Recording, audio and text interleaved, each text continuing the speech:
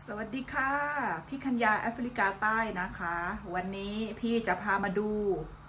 ขนมจีนแห้งนะคะ คนที่อยู่ต่างประเทศเขากินอะไรกันทำไมมีขนมจีนกิน บางคนอาจจะยังไม่รู้นะคะว่ามีของ import เข้ามาขายที่เมืองไทยไอ้ที่ประเทศของเรานะคะ ทั่วโลกก็ว่าได้เนาะตกภาษากลางดีจังเลยทำไมไม่พูดอีสานล่ะเนี่ย ค่ะท่านผู้ชมก็จะเป็นแบบนี้ก็จะมีหลายแบรนด์หลายยี่ห้อนะคะ วันนี้พี่ขัญญาจะมาแนะนำของขนมจีนที่ต้มง่าย เส้นนิ่มไวแล้วก็อร่อยนะคะ ทุกท่าน บางคนที่อยู่นานก็อาจจะรู้แล้วเนาะว่าเขากินกันแบบไหนบางคนที่มาใหม่นะคะ ก็ขอแนะนำนะคะ ก็ทั่วโลกหลายประเทศนะคะ ก็จะมี เส้นขนมจีนแบบร้าน ร้านคนจีนนะคะ ที่นำสินค้ามาขายเส้นก็จะประมาณนี้นะคะ เส้นใหญ่แข็งแล้วก็หนาค่ะทุกท่านนี่ค่ะ ใหญ่แข็งหนาสุกยากมากค่ะทุกท่าน ใครไปซื้อที่ร้านจีนนะ แต่ถ้าของขาดก็พอแก้ขาดได้นะคะ ก็ถือว่ายังได้กินยังได้ยำอร่อยๆนะคะทำขนมจีนกินได้ แต่อีกแบบหนึ่งค่ะ นี่เลยยกให้เจ้านี้เลยนะคะ ทุกท่าน ก็เป็นของบ้านเรานั่นเองนะคะ ของขึ้นชื่อโอท็อปเลยนะคะ ทุกท่านส่งมาขายที่แอฟริกาใต้นะคะ อันนี้ห่อก็ไม่กี่บาทถูกมากนะคะ 25 เรนนะคะ เท่ากับ 50 บาท ต้มได้ 2 รอบนะคะ ทุกท่านอันนี้พี่ก็ต้มกินไปแล้วหน่อยนึงนะคะ ครึ่งหนึ่งวันนี้ก็จะมายำขนมจีนน้ำกะปิปลากินอีกครึ่งหนึ่งนะคะ เส้นนิ่มเป็นเส้นข้าวท่านผู้ชมอร่อยมาก สุกไวแล้วก็ฟิลเหมือนแบบบ้านเราเลยนะคะ ใครที่ยังไม่ทราบจะกินยี่ห้อไหนสูตรไหนนะคะ พี่แนะนำว่าไม่ผิดหวังยี่ห้อนี้ค่ะทุกท่าน อุ้ยมือแห้ง อย่าตกใจนะคะเพิ่งล้างถ้วยล้างชามเสร็จวันนี้อยู่บ้านนะคะ ก็ทำความสะอาดบ้าน ค่ะ ในหม้อพี่จะให้ดูนะคะ อันนี้เส้นแข็งแข็งเหนียวเหนียวนี่นะคะ ทีแรกพี่นึกว่าหมดแล้วสีม่วงม่วงก็เลยก็เลยต้มตัวนี้ก่อน อันนี้เกือบครึ่งชั่วโมงค่ะทุกท่านยังไม่สุกเลยนะคะ อย่าให้เละนะคะ เวลาต้ม นี่แล้วก็ไปล้างน้ำเย็นนะคะ อันนี้ก็เกือบได้แล้วคะเริ่มนิ่มแล้วนะคะ แต่ช้าหิวแล้วค่ะ เครื่องรอแล้วน้ำกะปิน้ำปลาก็รอแล้วนะคะ อันนี้พี่ก็ต้มเรียบร้อยแล้ว มาดูตัวนี้กันค่ะ แบบโอท็อปนะคะ ขออภัยอาจจะไม่คล่องนะคะ มือถือกล้องหนึ่งข้าง แล้วก็เป็นคลิปอาหารครั้งแรกที่หัดทำนะคะ ทุกท่าน อันนี้เป็นเส้นโอท็อปนะคะ ของบ้านเราเส้นข้าวนะคะพี่ก็จะต้มลงไปนะคะ น้ำร้อนๆเดือดๆนะคะ ทุกท่าน ลงไปแล้วค่ะหม้อเล็กไปหรือเปล่า ไม่เคยทำคลิปอาหารทุกท่าน แต่แค่พี่ยังอยากแนะนำนะคะ อยากแนะนำบางคนไปอยู่ต่างประเทศ อยากกินอะไรของอีสานเราๆบ้านบ้านเรา ไม่รู้จะกินแบบไหนยี่ห้อไหนซื้อแบบไหนนะคะ มาดูนะคะ นิ่มแล้วก็อ่อนตัวไวมากเลยนะคะ ไม่มีฝาหม้อนะคะ ทุกท่านอนาถาอย่าตกใจนะคะ อันนี้ใกล้ได้แล้วค่ะนี่ก็ครึ่งชั่วโมงพี่ต้มมานานแล้วนะคะ เครื่องอะไรหั่นเรียบร้อย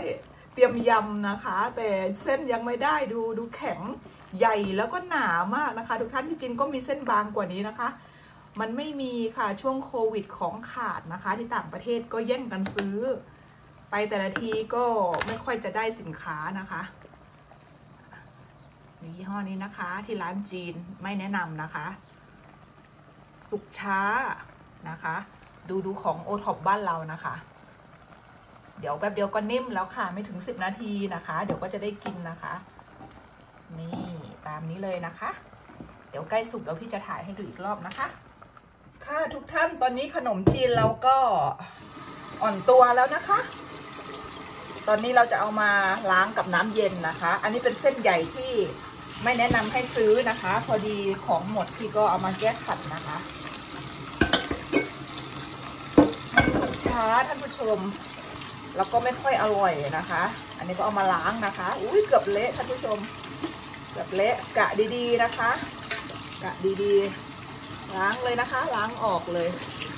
นี่ขนมจีนต่างประเทศนะคะ ขนมจีนแห้งนะคะ ทุกคนเขาก็กินกันแบบนี้ค่ะทุกท่าน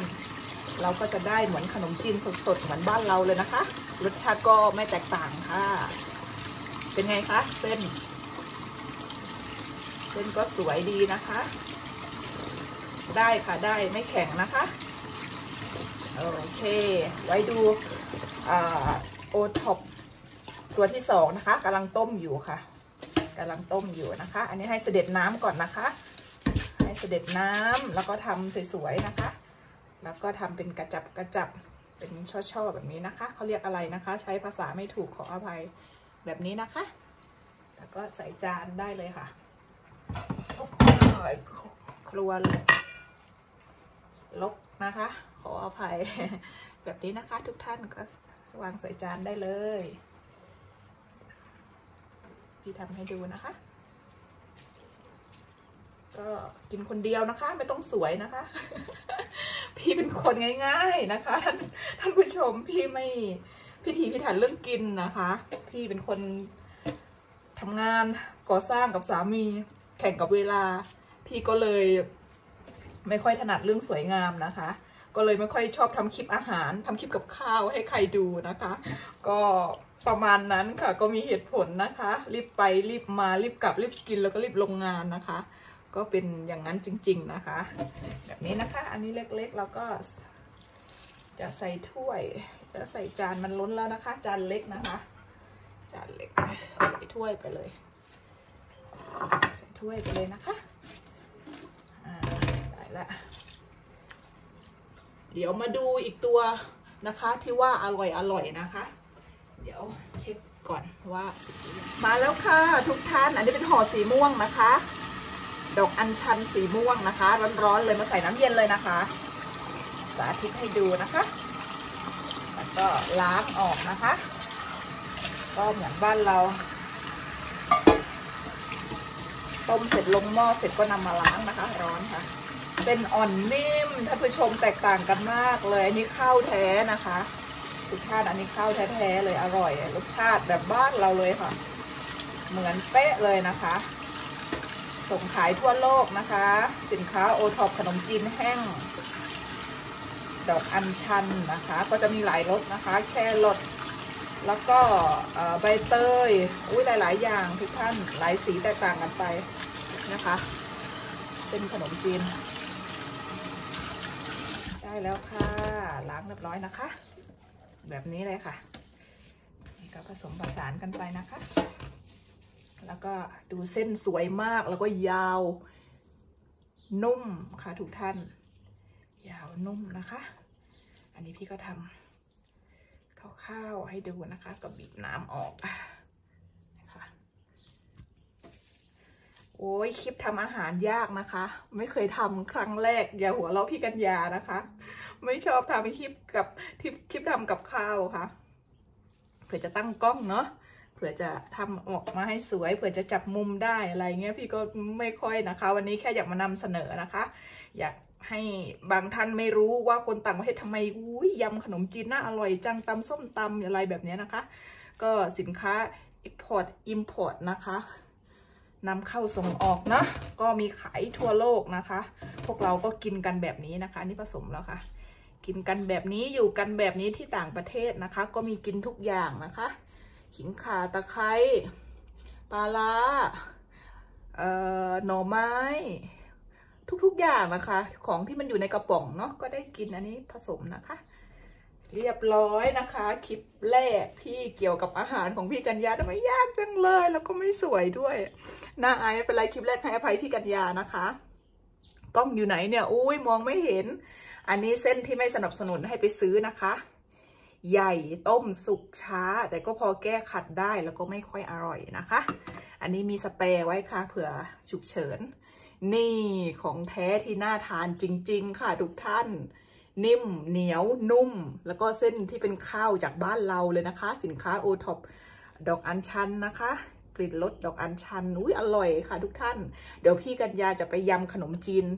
แอบกินคนเดียวก่อนนะคะ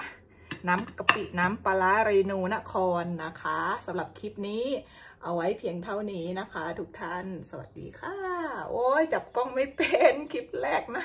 ไม่ดีเลย ขออภัยค่ะ บ๊ายบาย